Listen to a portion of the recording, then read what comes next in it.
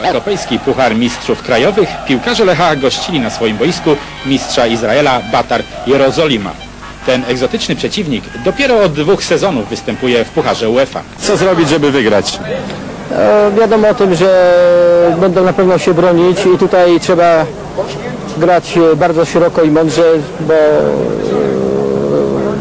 e, oni tu po prostu nie mają nic do stracenia, to jest raz, a druga sprawa, że no, trzeba strzelić co najmniej dwie, trzy bramki, żeby już spokojnie jechać na mecz rewanżowy. W izraelskim zespole nie wystąpiło w tym spotkaniu dwóch najlepszych piłkarzy, Eli Ohana i Rosjanin Władimir Greszniew. Ten ostatni grał już w zespole Śląska i występował na poznańskim stadionie dwukrotnie. Pierwszy nie mógł wyjść na boisko ze względu na żółte kartki, a drugi ze względu na kontuzję.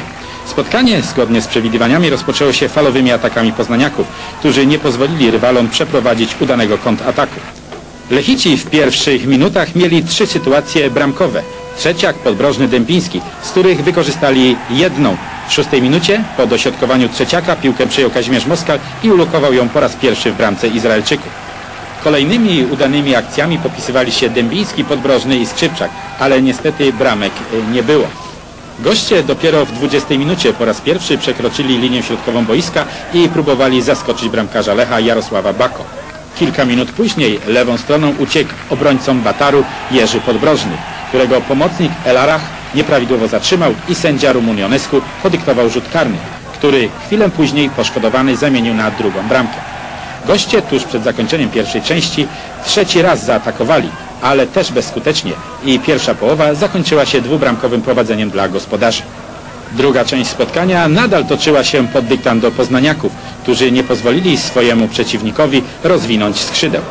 Dwie akcje na strzelenie kolejnych bramek mieli Remień i Łukasik, ale po wielu takich sytuacjach dopiero w 60 minucie Mirosław Trzeciak uciekł obrońcom Bataru i trafił po raz trzeci do bramki gości. W 70 minucie wreszcie Izraelczycy przedostali się na połowę gospodarzy. Prawą stroną uciekł obrońca Lewi, który strzelił tuż obok słupka.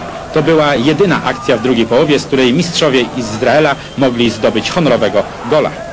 Chwilę później szansę na podwyższenie wyniku miał Waldemar Krygier, jednak piłka po jego strzale trafiła w słupek. Także Mirosław Trzeciak mógł zdobyć kolejną bramkę, ale bez powodzenia, bowiem bramkarz Izraela bronił dzisiaj znakomicie. Mecz zakończył się wygraną Lecha Poznań 3 do 0, ale po słabej grze mistrzów Izraela. Ciekawe więc, czy mistrzowi Polski wystarczy trzybramkowa zaliczka na mecz rewanżowy, tak aby mogli oni awansować dalej w rozgrywkach pucharowych.